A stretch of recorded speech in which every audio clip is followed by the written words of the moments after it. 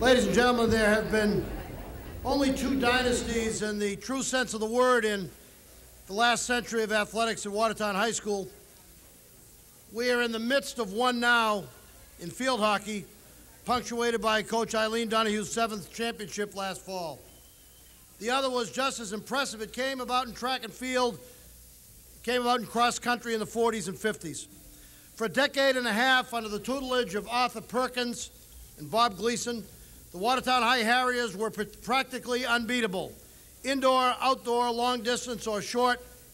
The 1958 team has already been inducted, but those squads were laden with too many state titleists and record holders to even begin to list. But there were some who were special, and one particularly special, and that is who we honor tonight Richard Bartley, class of 1958.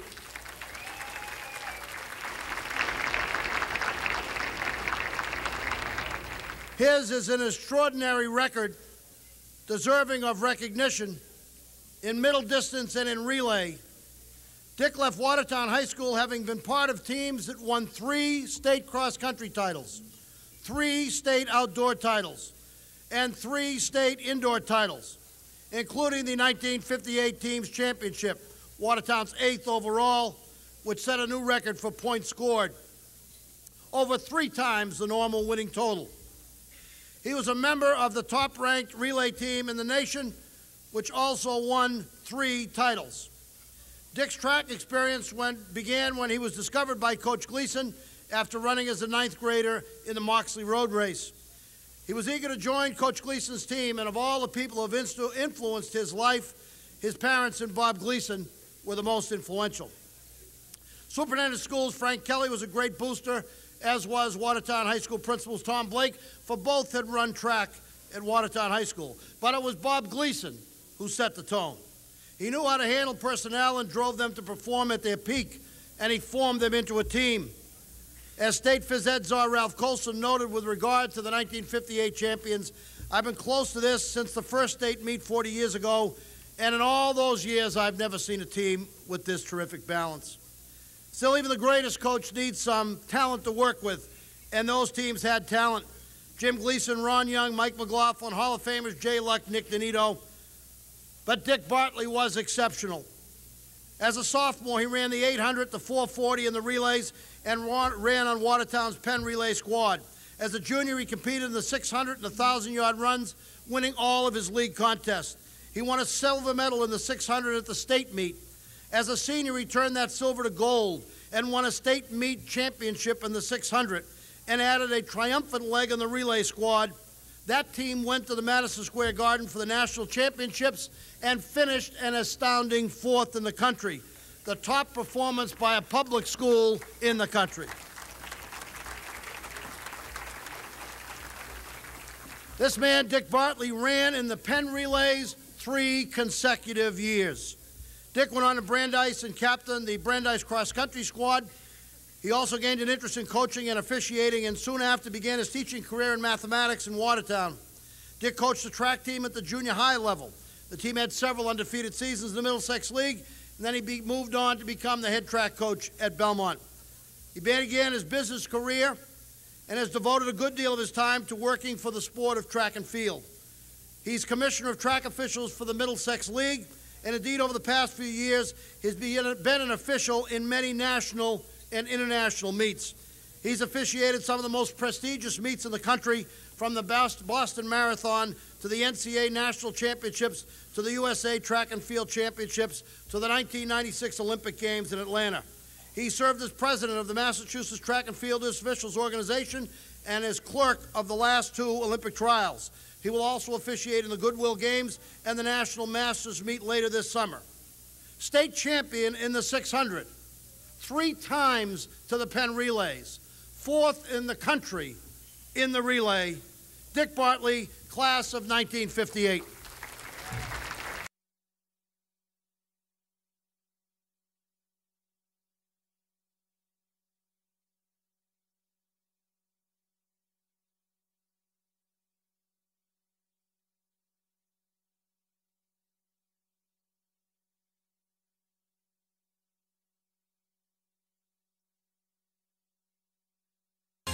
There are two people I didn't want to follow tonight. One was Gene Renzi, and one was Lou Romanelli. I- would like to thank the committee for this distinct honor. It's very, very nice to be honored by your hometown. Uh, it's a distinct pleasure. There are several people I'd like to thank tonight. Among them is Coach Bob Gleason. Uh, I'd like to introduce you Margaret Gleason. Do we stand, Margaret, please?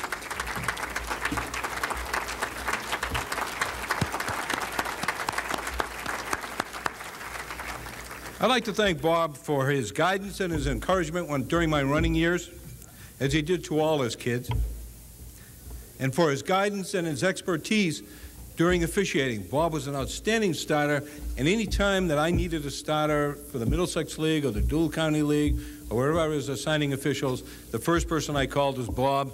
Can you help me out? And he, if he was available, he was there. Bob was a great person. I'd like to thank my family. In track and field, we have a, an expression called a track widow, and Margaret will, uh, can appreciate this. Uh, you spend many, many hours away at track meets. Tony Porter, sitting over to my left, who is the director of the Middlesex League, will tell you how long a Saturday it can be. And I'd like to thank my family for allowing me to go to these things, allowing me to travel to Atlanta and the rest of the places and, and spend the many, many days and hours away from home uh, without a lot of recrimination. I'd love to thank, thank my family for allowing me to do that.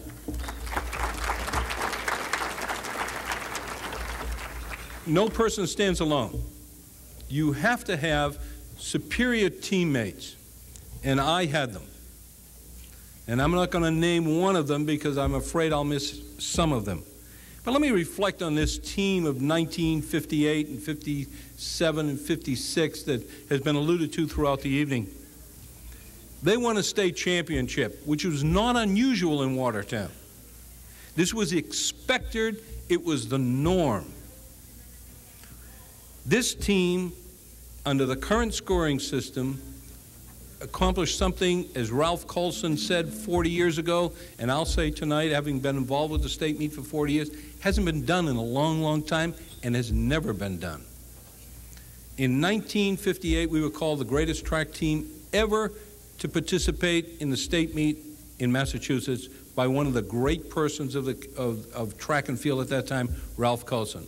I've been involved with the state meet since that day to today. 40 to 50 points would win a state meet today. This team in 1958 scored 144 points.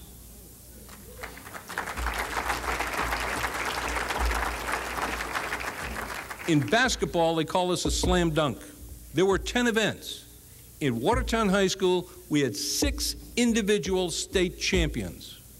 We had three athletes finish second, one finished third, and the relay team won. And that does not include the underclassmen who were the third, the fourths, the fifths to make up the balance of the 144 points.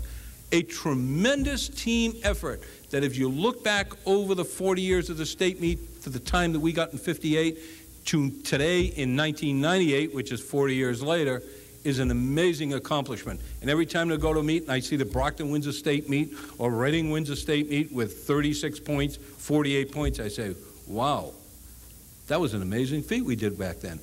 It was expected, it was the norm. The bulletin at the high school, which is the, the annual at the high school, for those of you who are not Watertown folks, just simply indicated the following individuals won their events at the state meet. Didn't even tell you which events they were. They just listed the six or seven people, and that was the end of the thing. It was an expected, it was the norm. I had a chance to talk to Bobby Norton at a track meet at, at Lexington High School one time, and he said, You know, when we were growing up, and I'm a little older than Bobby, when we were growing up, he said, it was not unusual to play around with guys you grew up with. And Bobby indicated to me, you know, the guys I hung around with, there were two All American hockey players and two guys who played in the NFL. We said, he said, we thought that was normal. When we were running track, we thought it was normal for us to win. We never went to a meet, never went to a meet expecting to, finish, to lose or finish second. And a lot of that credit goes to Bob Gleason. Uh, I had great teammates, and to each one of those teammates, and there's many here in the hall tonight, uh, I thank them for coming Uh, they're part of this, this dynasty legend that, that goes on. Finally, let me say something about this sport. This is a great sport. Track and field is a great sport. I remember in 1960 getting a card from Jay Luck. Says, this is the Rome Olympic Stadium. Someday we're going to be here. His day was not 1960, but 64, and Jay's in the back of the hall over there. Great.